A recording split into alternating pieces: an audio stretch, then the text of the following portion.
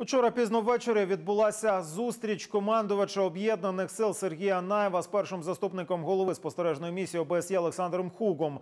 Хуг терміново прибув на Донбас через загострення ситуації. Сергій Наєв закликав його вплинути на командування російсько-окупаційних військ, щоб ті негайно припинили обстрілювати мирні населені пункти, також використовувати заборонену зброю. Сьогодні на брифінгу Олександр Хуг сказав, що спостерігачі ОБСЄ фіксують збільшення жертв серед цивільних.